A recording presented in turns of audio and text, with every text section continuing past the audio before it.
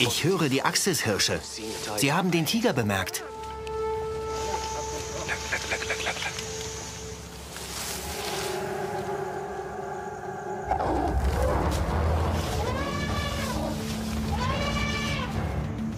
Da ist der Tiger.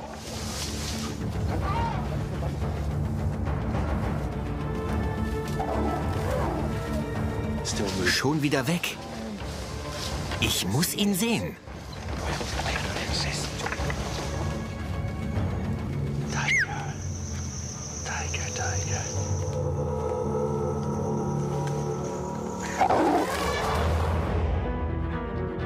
Mein Name ist Gordon Buchanan. Seit Jahren beobachte ich die gefährlichsten Raubtiere der Welt. Ich studiere ihr Verhalten und es gibt fast nichts, das mir Angst macht. Doch es zeichnet sich eine beunruhigende Entwicklung ab. Raubtiere haben es nicht mehr nur auf andere Tierarten abgesehen, sondern auch auf Menschen. Die Natur gibt uns viele Rätsel auf.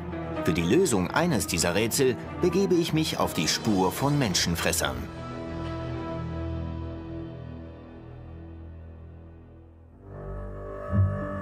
Ich bin in Nepal auf der Suche nach einer Serienkillerin, einem Tigerweibchen, das in den letzten vier Jahren mindestens zehn Menschen getötet hat. Sie heißt Nangara Poti, die Kralle.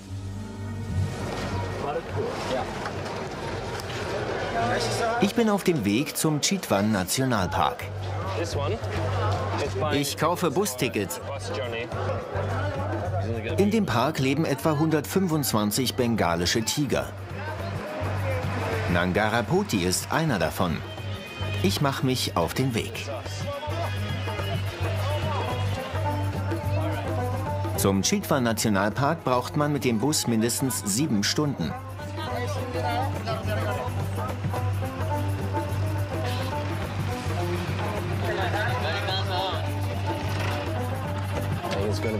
Die Fahrt wird elendlang.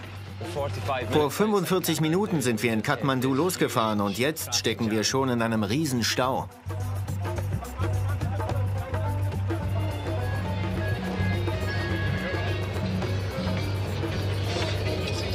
Ich habe ein kleines Problem. Das ist ein anderer Bus. Weil wir im Stau stecken, sind wir ausgestiegen, um einen Tee zu trinken. Wir hielten das für eine gute Idee, aber dann kam der Verkehr wieder ins Rollen. Wir dachten, dass es nur ein paar Meter weitergehen würde, aber am Ende waren es 20, 25 Kilometer. Jetzt sind wir in diesen Bus gesprungen und hoffen, dass er den alten einholt, damit wir unsere Taschen und Pässe wiederkriegen. Endlich sitze ich wieder in dem Bus, in den ich gehöre, bei meinen Kameras. Ich bin auf dem Weg ins Terai, der Tiefebene Nepals, die an der Grenze zu Indien liegt. Früher gab es dort viele Tiger. Nepal beheimatete einst die verhältnismäßig größte Zahl an Tigern auf dem indischen Subkontinent. Wie in vielen Ländern Asiens gelten die Tiere auch hier als heilig. Doch genau so, wie sie verehrt werden, werden sie auch gefürchtet. Man schätzt, dass es in ganz Nepal inzwischen weniger als 200 bengalische Tiger gibt. Seht euch die Landschaft an. Hier gibt es kein Fleckchen unberührter Natur mehr. Vor nicht allzu langer Zeit war das alles noch dichter Dschungel, die Heimat der Tiger. Heute können sie hier nicht mehr leben. In den 1950er Jahren beschloss die Regierung, tausende Menschen in dieses südnepalesische Gebiet umzusiedeln. Der Urwald wurde zu Ackerland. Mit der Zunahme der Bevölkerung nahm die Zahl der Tiger ab. 1973 gründete die Regierung dann den Chitwan Nationalpark, um die Population der Tiger zu sichern. Nach mehreren Stunden staubiger Busfahrt sind wir endlich da. Mit seinen knapp 1000 Quadratkilometern scheint mir der Nationalpark ein perfekter Lebensraum für Tiger zu sein. Es ist wunderschön und es riecht so gut. Eigentlich sieht es hier nicht so aus, als würden sich Mensch und Tiger in die Quere kommen. Aber seit der Öffnung des Parks in den 70er Jahren haben Tiger schon 103 Menschen getötet.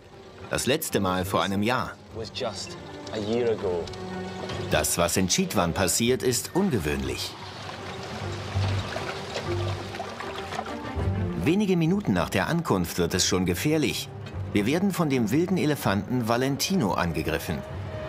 Durch ihn sind letztes Jahr zwei Männer umgekommen. Offenbar sind Tiger hier nicht die einzige Gefahr für Menschen.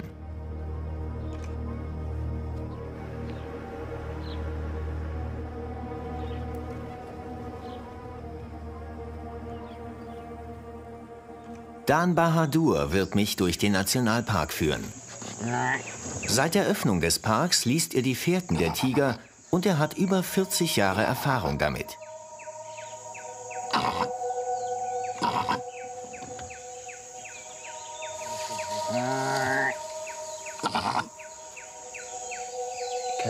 Keine Ahnung, ob das Zuneigung oder Wut ist.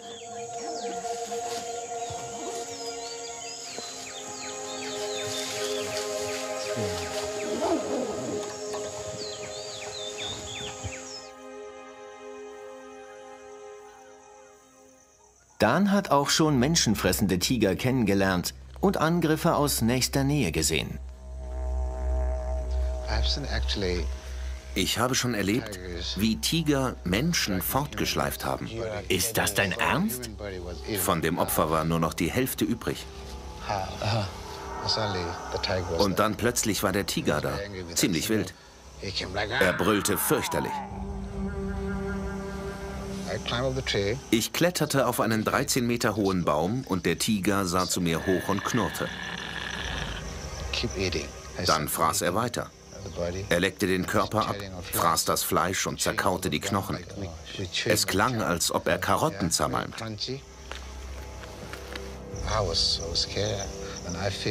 Ich fürchtete mich schrecklich und hatte das Gefühl, dass ich immer weiter zur Erde runtersacke. Es ist unvorstellbar, einem menschenfressenden Tiger so nah zu sein. Und Chitwan, die Kralle, streift hier gerade irgendwo durchs Gelände.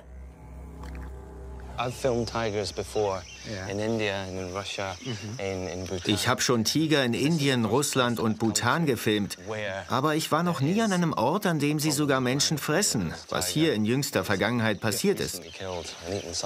Das ändert die Sichtweise auf die Tiger dieser Gegend about these, these tigers in this place.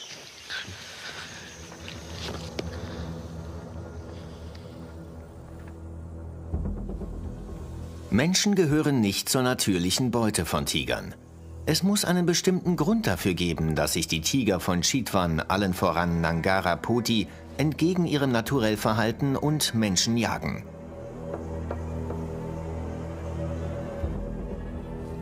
Nangara Poti ist besonders gut darin.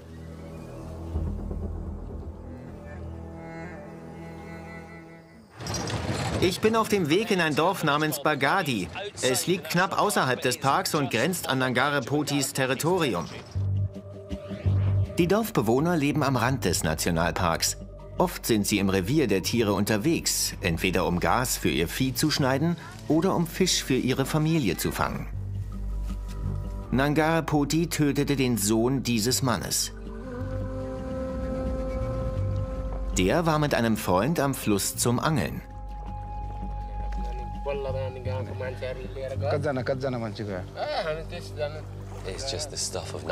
Es muss ein Albtraum gewesen sein. Die beiden jungen Männer hielten sich gerade hier am Ufer auf. Plötzlich hörte einer der beiden ein Geräusch und als er sich umdrehte, musste er mit ansehen, wie sein Freund von Nangarapoti ins Gebüsch gezogen wurde. Der Tiger hatte zuvor schon Menschen getötet. Während das alles passierte, versuchte der Freund noch Hilfe zu holen. Vollkommen in Panik sprang er ins Boot und schaffte es irgendwie zurück ins Dorf. Er kam mit 40 Leuten zurück und sie machten ordentlich Krach. Sie konnten den Tiger verjagen, aber der junge Mann war schon tot. Sein Sohn war tot. Das Schicksal des Freundes ist nicht weniger tragisch. Wo ist der Mann jetzt? Er starb. Er starb vor Angst. Wirklich? Wie alt war er? 30. Sie waren gleich alt.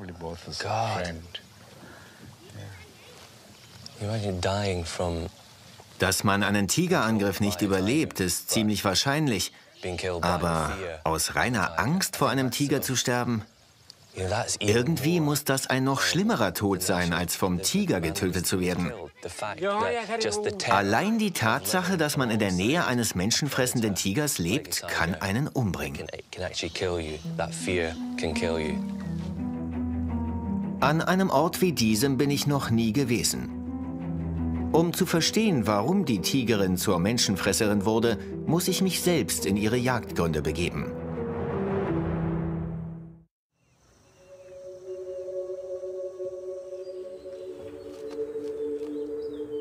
Früh am Morgen machen wir uns in den Nordwesten des Parks auf. Wir wollen uns einen Eindruck von Nangara Potis Revier verschaffen.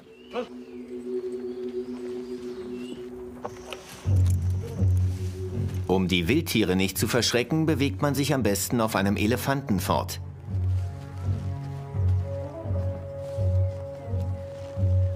Im Herzen des Parks sind nicht nur Axishirsche unterwegs. Schon bald entdecken wir etwas, das sich im hohen Gras versteckt.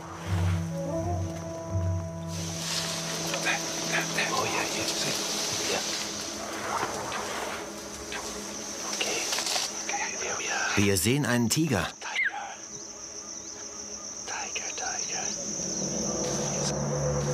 Er frisst gerade irgendwas. Man kann nicht erkennen, was. Er wirkt total ruhig und entspannt.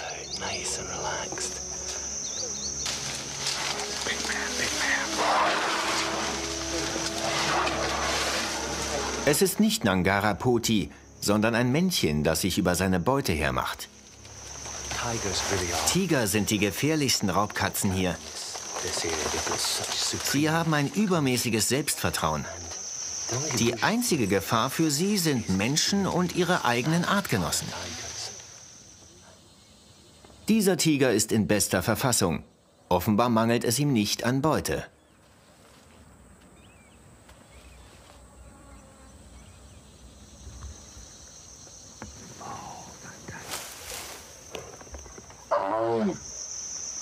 Ein schönes Tier. Wirklich atemberaubend.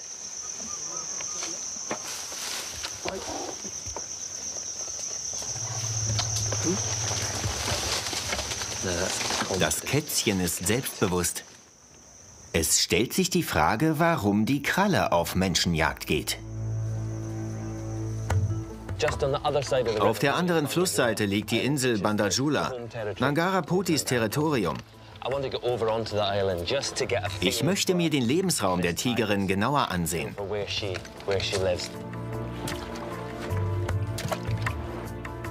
Für alle Fälle nehme ich meine Kamera mit.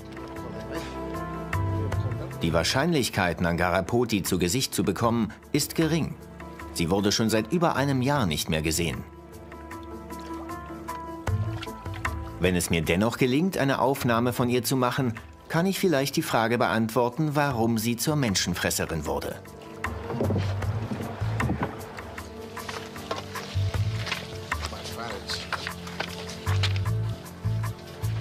Oh, Wir stoßen auf frische Spuren. Es sind die unverwechselbaren Tatzenabdrücke von Nangara Poti. Das war sie. Daher hat sie auch ihren Namen, die Kralle. Wenn ein Tiger einen Menschen tötet, muss herausgefunden werden, welcher Tiger es war.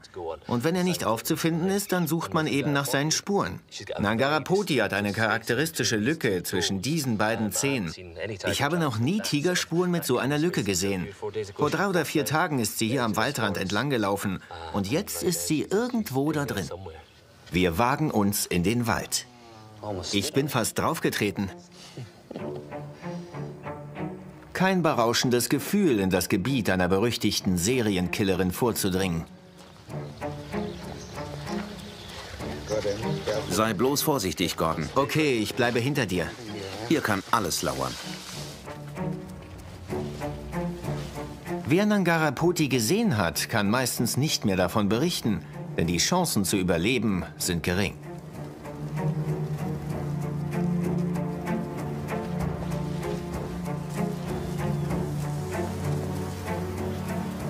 Ein Angriff ist nicht vorherzusehen.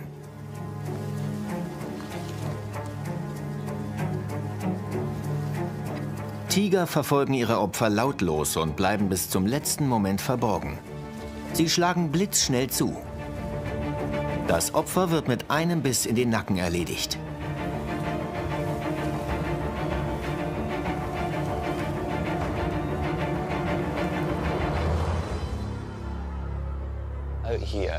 Hier draußen können wir gegen so einen Tiger überhaupt nichts ausrichten.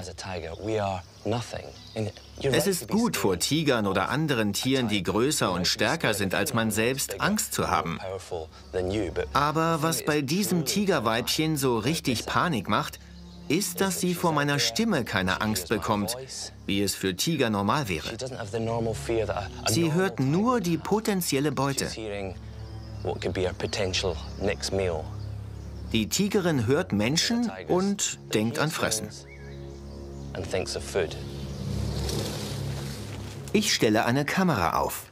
Mal sehen, ob wir Nangaraputi erwischen.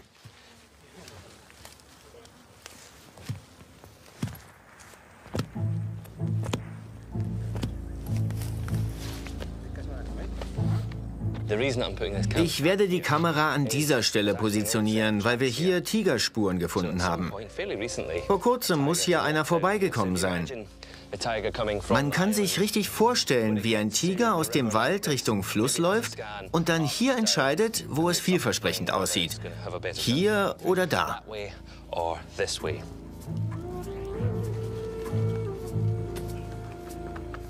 Es ist schon sehr seltsam, im Revier der Kralle zu sein. Ich habe das Gefühl, von ihr beobachtet zu werden. Als ob sie weiß, dass ich nach ihr suche.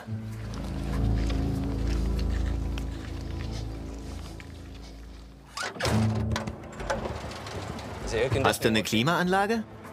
In Chitwan sorgt vor allem Nangara Poti für Angst und Schrecken. Aber außer ihr gibt es noch andere Serienkiller. Wir sind unterwegs zu einem Camp namens Temple Tiger. Vor vier Jahren gab es dort einen furchtbaren Angriff, bei dem Menschen gefressen wurden. Wir wollen versuchen, vor Ort etwas mehr darüber zu erfahren. In den vergangenen 25 Jahren haben im Chitwan Nationalpark mindestens 36 Tiger Menschen angegriffen. Ich hoffe, dass uns diese Angriffe einige Hinweise liefern, warum die Kralle zur Serienkillerin wurde. Hallo, wie heißt du? Ich bin Mann. Mann, das kann ich mir merken. Das Selbstvertrauen des Tigers ist erstaunlich. Hier stehen Häuser, da auch. Ein Haufen Lärm. Aber er hat trotzdem keine Angst. Das Opfer war ein Elefantenpfleger. Der Tiger lag da auf der Lauer. Der Mann lief hier lang und der Tiger griff an. Er hat ihn geschnappt. Genau. Er kam hier als Vierter lang. Drei waren schon an dem Tiger vorbeigekommen und hatten riesiges Glück. Der Tiger lag mit Sicherheit schon auf der Lauer. Genau hier. Er sah den Mann kommen. Was geht in so einem Moment in einem Tiger vor? Er sieht was vorbeilaufen, ein großes Stück Fleisch. Dann kommt noch ein Mensch und dann noch einer. Und dann überlegt sich der Tiger, dass er beim nächsten angreift.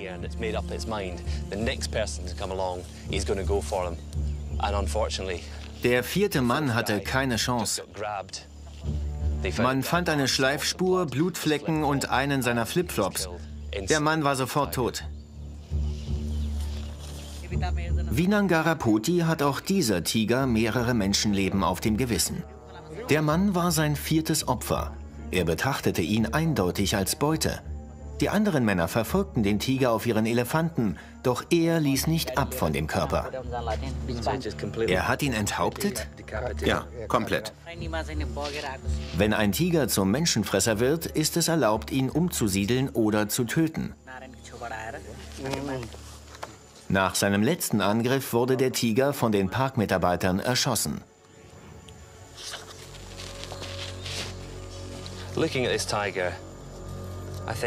Ich kann mir vorstellen, dass der Tiger von seiner Mutter vertrieben wurde und sich auf die Suche nach einem eigenen Revier im Nationalpark machen musste. Es kam zu Reibereien mit Artgenossen. Männchen, die größer waren als er, jagten ihn weiter. Weibchen wollten sich nicht mit ihm paaren. Ein Tiger, der ständig weiterziehen muss, lernt nicht richtig, sich Beute zu erjagen. Das verzweifelte junge Tigermännchen streift umher und wird immer hungriger. Irgendwann bleibt ihm nichts übrig, als Menschenfresser zu werden.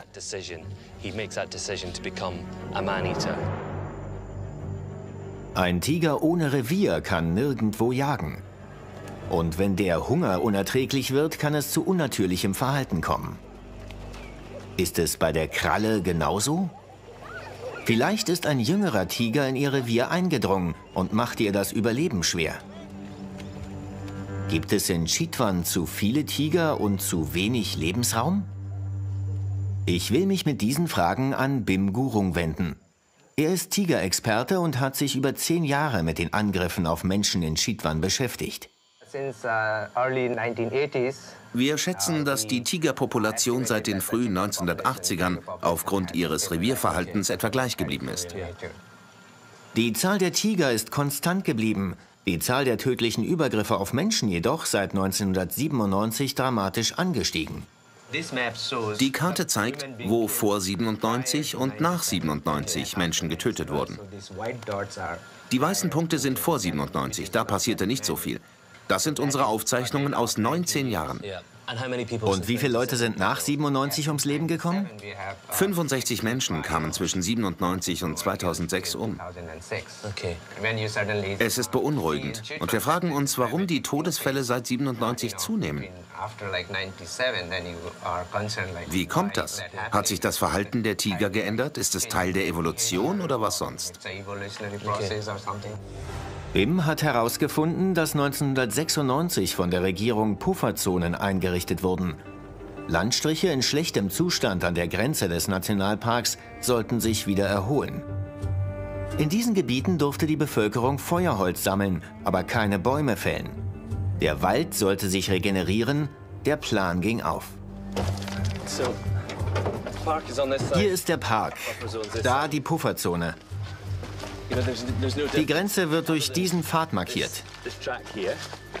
Ja, das ist die Grenzstraße. Die Grenze zwischen dem Nationalpark und der bewaldeten Pufferzone. Aber für die Tiger macht es keinen Unterschied. Die Menschen sehen natürlich die Grenzlinien auf der Karte, aber den Tieren hier ist es völlig egal, ob sie auf der oder auf der Seite sind.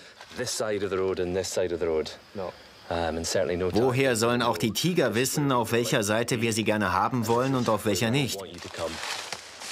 Die Tiger kamen in die Pufferzonen und damit näher zu den Menschen. Das wahre Problem liegt darin, dass in Chitwan mittlerweile mehr Tiger leben, als gut für den Park ist. Was tun die Tiere also? Sie kommen bis an diesen Weg und denken sich, kein anderer Tiger in Sicht, vielleicht wird das mein Revier. Dummerweise nutzen aber auch Menschen den Wald hier. Die Tiger gewöhnen sich an sie und verlieren die Angst vor ihnen. Schon möglich, dass die große Tigerpopulation einzelne Tiere in die Pufferzone abgedrängt hat. Das erklärt aber noch nicht, warum sie zu Menschenfressern werden. Es steckt sicher noch mehr dahinter als ein gemeinsamer Lebensraum. Ich hoffe, in Sauraha Antworten zu finden. Das Dorf liegt an der nordöstlichen Grenze zum Nationalpark in der Pufferzone. Die Pufferzone ist ein 5 Kilometer breiter Streifen Land rings um den Nationalpark. Wald, Ackerland und Dörfer liegen darin. Eines Tages kam ein Tiger, der anscheinend keine Angst mehr vor Menschen kannte, in das Dorf. Okay. Ist das das Haus? Ja. Gehen wir mal hin. Hallo. Das ist die Frau des Opfers. Ich brauche so viele Einzelheiten wie möglich über das, was 2004 passiert ist.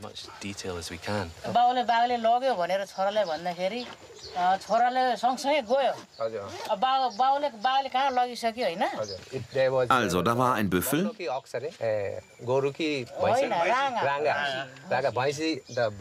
Hier war ein Büffel angebunden. Der Tiger tötete den Büffel. Der Mann hörte die Geräusche und lief raus, um im Dunkeln nachzusehen, was los ist. Da war ein Tiger. Der Büffel war hier mit einem Seil angebunden. Wahrscheinlich haben die Hausbewohner gar nicht gehört, wie er getötet wurde. Es ging sehr schnell und leise. Aber als der Tiger versuchte, den Büffel wegzuschleifen, um an einem sicheren Ort zu fressen, merkte er, dass es nicht ging, weil der Büffel ja angebunden war. Der Mann hörte, wie der Tiger versuchte, den Büffel freizukriegen. Und als er aus dem Haus kam, dachte sich der Tiger, das ist leichte Beute, die ich wegschleppen kann. Der Mann war schnell tot.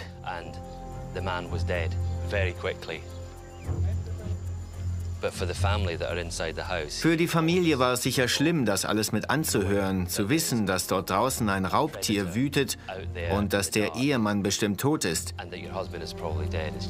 Furchtbar.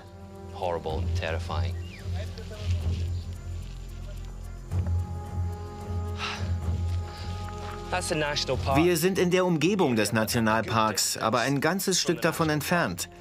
Der Tiger wurde vielleicht aus dem Park vertrieben und lief auf der Suche nach Nahrung in besiedeltem Gebiet herum. Mit jedem Tag ohne Nahrung wuchs seine Verzweiflung. Der Tiger wurde erschossen und es stellte sich heraus, dass er alt, schwach und sehr mager war.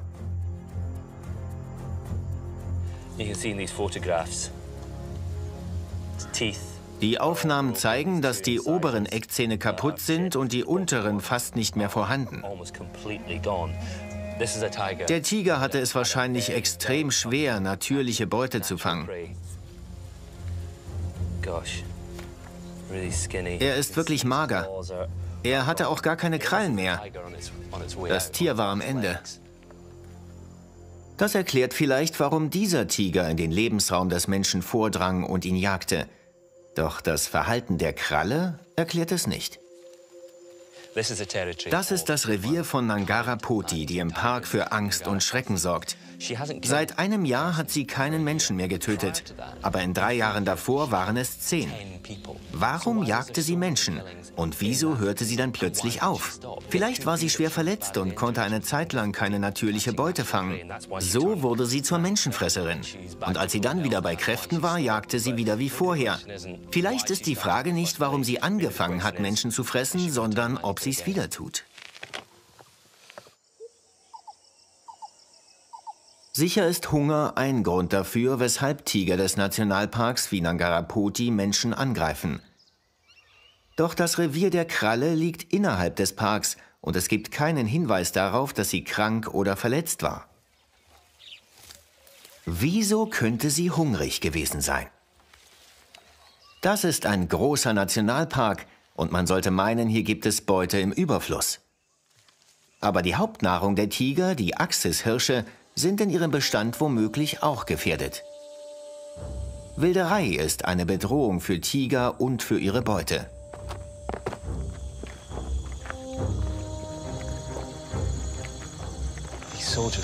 Diese Soldaten gehen jede Nacht auf Patrouille und kontrollieren, ob Wilderer unterwegs sind. Die meisten Wilddiebe haben es auf die Beutetiere abgesehen, nicht auf die Tiger. Aber um die Tiger zu schützen, muss man auch ihre Beute schützen. Die Menschen hier wissen, dass das Töten von Tigern illegal ist. Zwar fallen den Wilderern gelegentlich auch Tiger zum Opfer, aber eigentlich haben sie es auf Hirsche und andere Huftiere abgesehen. Was wir hier machen, ist gefährlich. Wir können zum einen bewaffneten Wilderern in die Arme laufen, zum anderen wilden Elefanten und Nashörnern begegnen. Und als Krönung lauert hier irgendwo in der dunklen Nacht ein menschenfressender Tiger.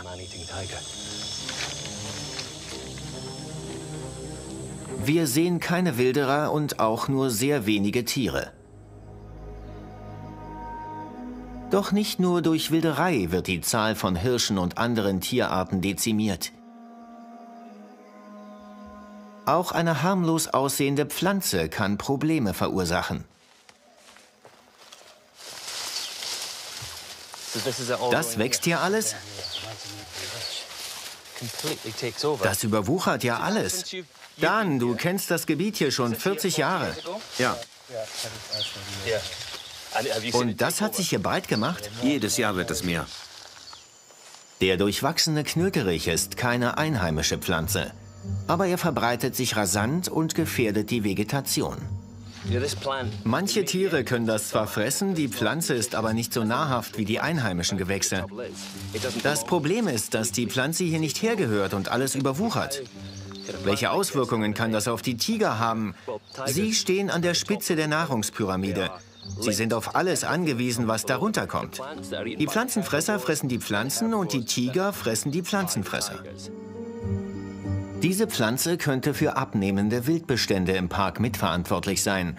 Hat sie aber letztendlich auch dazu beigetragen, dass Nangara Poti Menschen angreift? Oder gibt es da noch etwas anderes?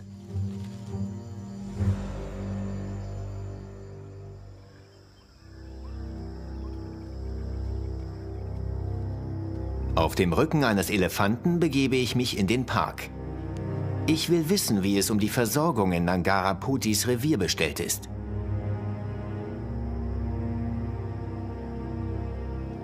Oben auf dem Elefanten fühle ich mich sicher.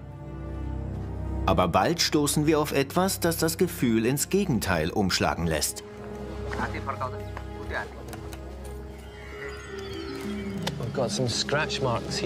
Das hier sind Kratzspuren von einem Tiger. Daran wird deutlich, was die Tatzen anrichten und wie scharf die Krallen sind. Dieses sehr harte Holz können sie problemlos zerkratzen. Es hängt hier auch noch ein leichter Katzengeruch in der Luft. Tiger sind keine guten Kletterer, aber das machen sie durch exzellente Sprungfähigkeit wett. Man sollte annehmen, dass man auf einem Elefantenrücken sicher ist, aber dieser Baum ist ein kleines Stück höher als ein Elefant. Ein Tiger könnte also, wenn er wollte, mühelos über den Elefanten springen. Fühlst du dich hier oben sicher? Er hat keine Angst. Keine Angst? Na, dann zeige ich dir mal was.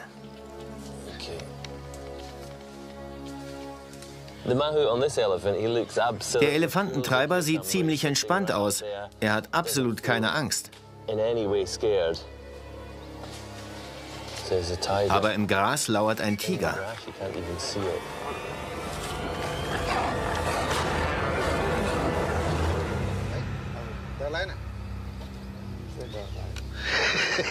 Jetzt hat er Angst. Dieses Video wurde in der Nähe des Kaziranga Nationalparks in Indien aufgenommen. Wir sind zwar hier in Nepal, aber man kann ja nie wissen.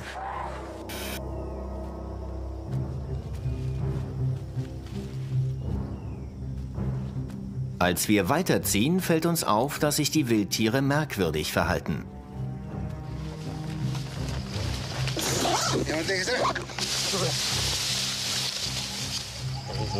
Der ist in Gefahr.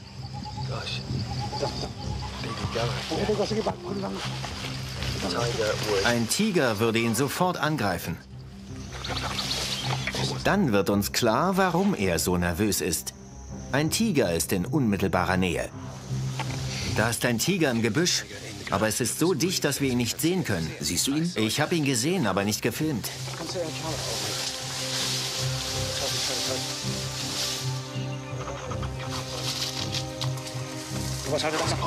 Er versteckt sich einfach da, am dichtesten Gras.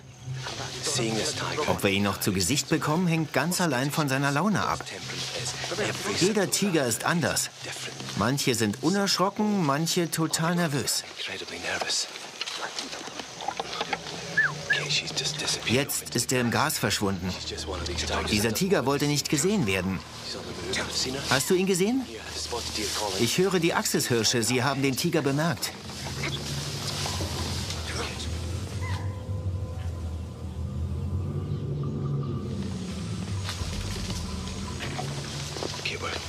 Wir wagen uns jetzt tiefer ins Dickicht. Vielleicht fühlt sich der Tiger hier sicherer und lässt uns näher an sich heran. Aber hier drin ist es wirklich schwer, überhaupt irgendwas zu erkennen. Auf dem Boden sind Spuren zu sehen. Er ist in die Richtung. Ein großes Weibchen. Ich habe keine Ahnung, wo es jetzt ist. Es ist schwer, ein perfekt getarntes Tier in dem undurchdringlichen Gestrüpp auszumachen.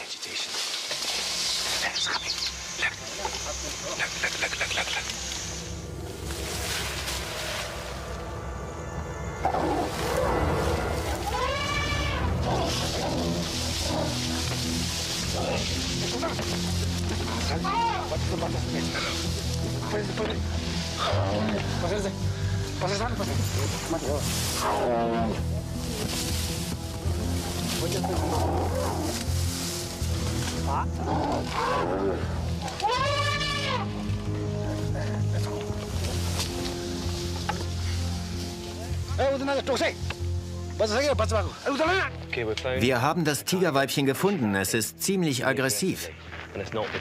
Sie hat nämlich zwei Junge bei sich. Sie war ganz kurz zu sehen, die Jungen auch. Aber viel können wir hier nicht herausfinden. Dieses Gestrüpp könnte eine ganze Elefantenherde verstecken. Ein Tiger mit zwei Jungen erst recht.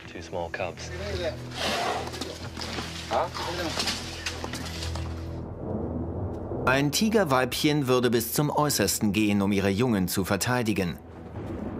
Vor vier Jahren, als Nangarapoti anfing, Menschen anzugreifen, war sie sicher auch sehr gereizt, denn auch sie hatte Junge.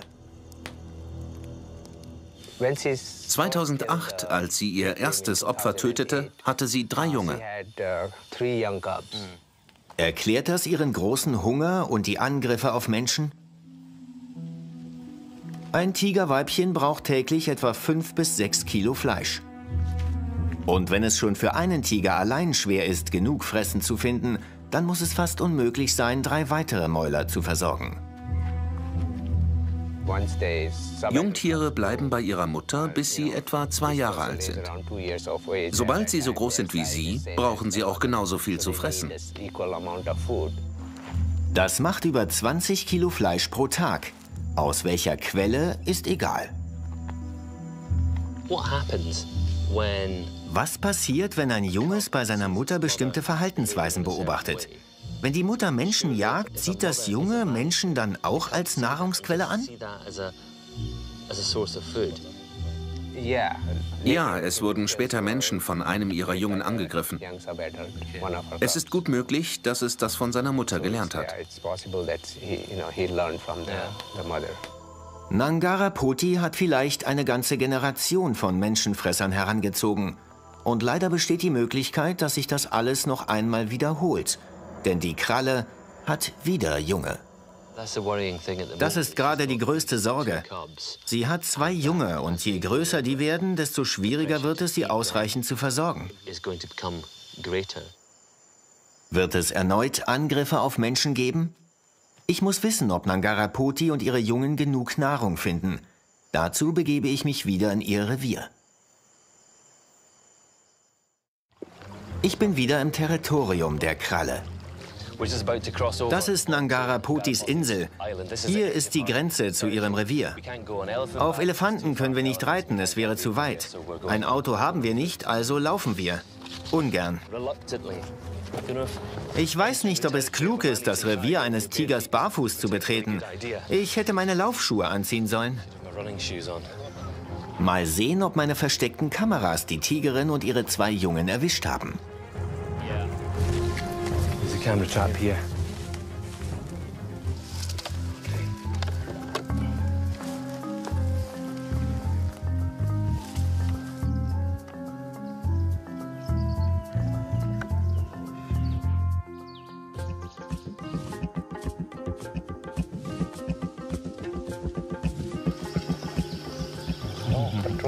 Soldaten. Wusstest du, dass sie hier unterwegs sind?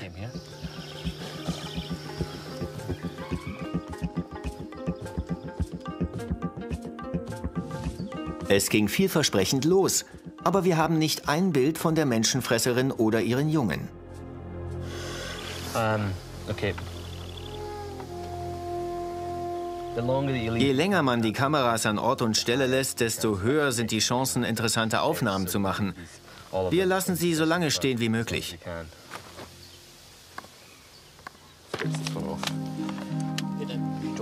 Ich habe die Kralle leider nicht erwischt. Aber noch gebe ich nicht auf.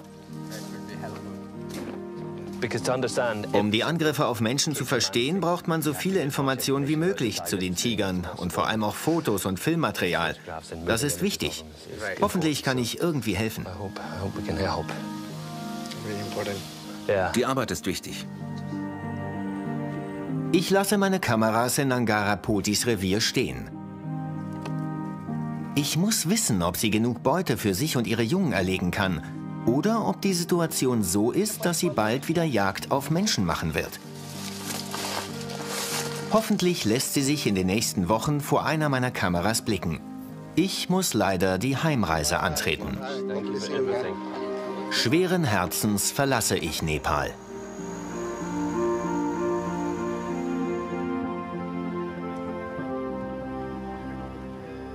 Aber die Geschichte ist noch nicht vorbei. Einige Wochen nachdem ich nach Schottland zurückgekehrt bin, erreicht mich ein Paket von BIM.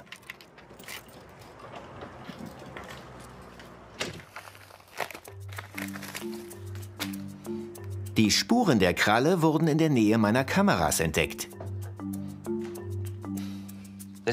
Das ist die Speicherkarte der Kamera, die ich auf Nangarapotis Insel aufgestellt habe.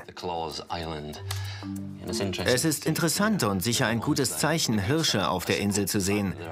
Denn sie sind natürliche Beute für die dort lebenden Tiger. Noch mehr Wild. Es ist ziemlich scheu und hat Junge. Wie ist das wohl für diese Tiere, sich durch das Dickicht zu bewegen und zu wissen, dass überall ein Tiger lauern könnte? Die Kamera hat nicht nur Wild aufgenommen. Es sind auch Menschen zu sehen, die auf die Insel kommen, um Gras zu schneiden. Sie wären wahrscheinlich überall lieber als an diesem Ort. Bestimmt kannten sie auch die Menschen, die Nangarapoti getötet hat. Und sie wissen, dass sie irgendwo umherstreift.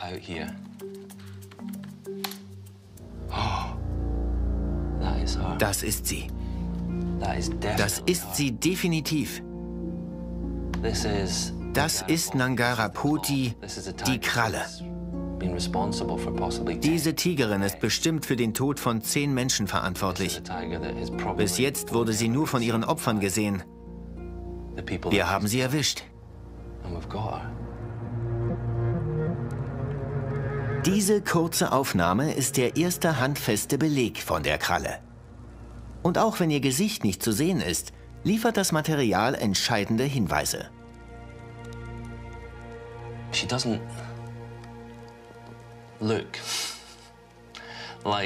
Sie ist nicht überwältigend groß oder so, eher schmal.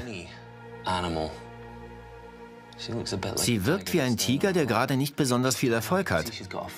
Sie trägt was im Maul. Ihr Abendbrot. Nangara Poti versorgt zwei heranwachsende Junge, die bald so groß sein werden wie sie. Dieses kleine Wildtier dürfte für alle drei nicht reichen. Bei dem Wurf davor wurde die Kralle genau an diesem Punkt zur Menschenfresserin. Ich frage mich, ob so eine verzweifelte, hungrige Tigerin aussieht, die bald wieder Menschen jagen wird. Sie geht in einem kleinen Gebiet auf Jagd, das eigentlich als Pufferzone dient. Doch selbst hier treffen Tier und Mensch aufeinander. Und wenn die Tigerin angreift, und das tut sie nur, wenn sie am Rande der Verzweiflung ist, dann verliert sie vielleicht das, was sie noch dringender braucht als Fleisch. Die Hilfe von Menschen.